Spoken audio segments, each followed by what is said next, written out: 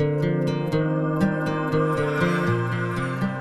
talking with Travis Rector here, who does some of the amazing images from NOAO and uh, Gemini Observatory. And Travis, can you tell us a little bit about how you go about putting these images together and coloring them and what your philosophy is? Okay. Uh, in the background here, we have three images that we made with the Mosaic 1 camera with, on the Kitt Peak National Observatory 4 meter telescope. And these images are of different objects in the sky that were taken with different kinds of filters.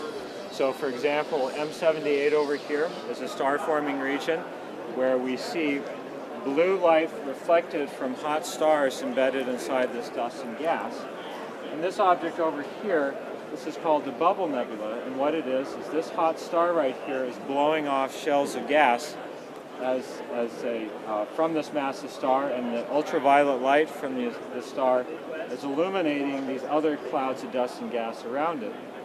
And this third object over here, which is called Barnard 163, this is an object called the Bok globule, and what it is, is this is a dense cloud of gas that's being illuminated uh, by hydrogen alpha emission from other stars uh, and gas surrounding it. Now in each case of these images, these were all done with the same telescope, but we use different filters to try, try to show different interesting bits of science.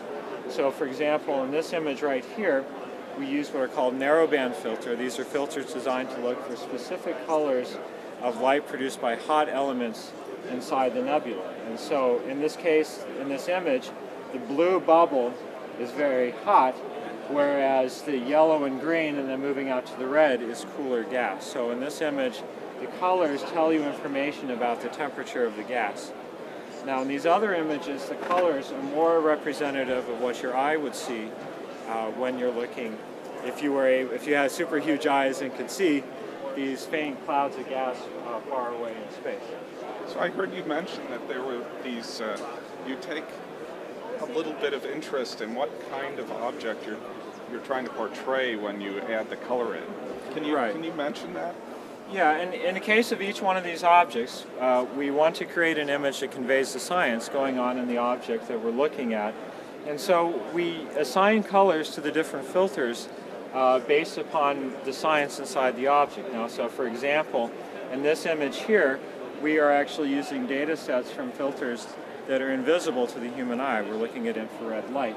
So we have to choose colors to show things that the human eye can't see. And the analogy I like to use is uh, telescopes give us superhuman vision. If we, if we could see it without a telescope, we wouldn't be spending all this money in the first place.